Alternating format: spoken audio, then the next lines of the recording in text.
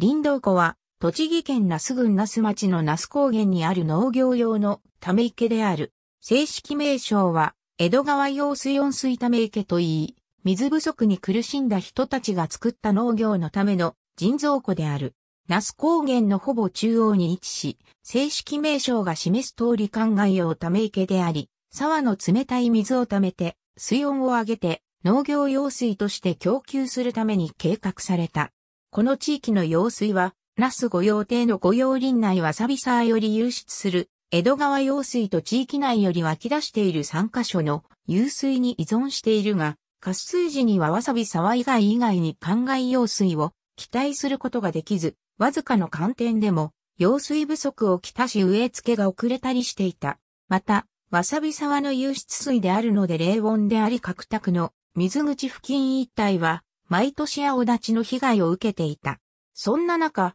江戸川用水土地改良区の理事長であった平山力夫は、江戸川用水をせき止めて、ため池を作ることを提案した。ほとんどの農家は反対であったものの、粘り強く何回も説明を続け、ようやく農家の気持ちが一つにまとまり工事が着工した。ため池完成から13年後、農家の人々は、平山力夫に感謝の気持ちを込めて、ため池のほとりに、平山の胸像をはめ込んだ石碑を建設した。那須高原地域の灌漑用の施設としては、他に、中川水系の千振ダム、矢野目ダム、黒森ダムなどがある。林道湖の周辺は、別荘地となっており、その他に、那須林道湖、レイクビュー、キャンプ場、リゾートホテルなどの観光施設が多数立地する、リゾートエリアとなっている。林道湖の名称は、当時の栃木県副知事と観光課長が命名したとされている。この事業は、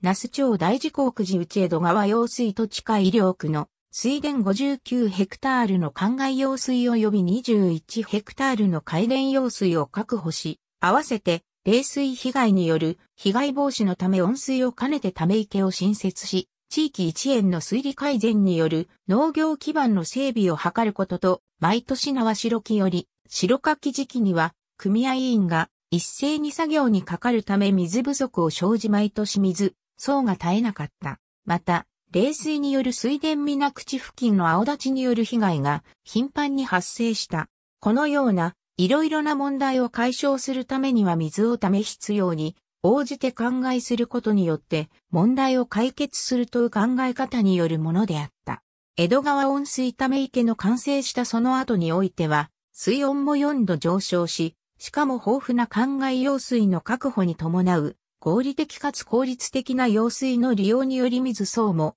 なく、なお冷水に悩まされた水田の水口付近の青立ちによる被害もなくなった。土地改良区と那須工業株式会社により観光開発がなされ、林道湖は那須町の一大観光地として飛躍することとなった。江戸川温水ため池の完成と前後して、地元観光業者の那須工業株式会社がため池を観光資源として利用したいとの申し入れがあった。当時、土地改良区は受益者負担分を負担しなければならず、組合員の負担感は大きかった。使用料収入は組合員の負担軽減につながると考え、土地改良区は那須工業からの申し入れを積極的に受け入れた。1960年代半ばには、那須地域では戦後第一次の観光開発ブームがあり、温水ため池の観光利用もこうした時代背景に支えれていた。しかし、当時は業者にとってた分に先行投資的色合いの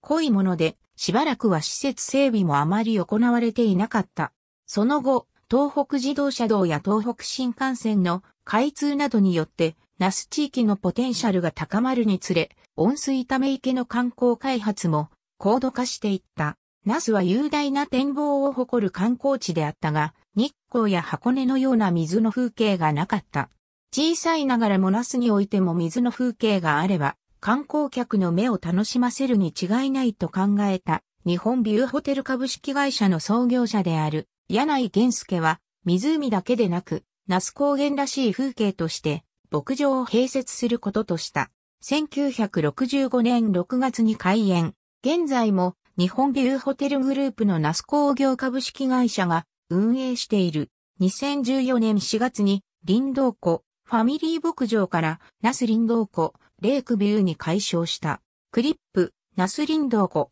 レイクビュー1情報自動車利用鉄道利用バス利用。ありがとうございます。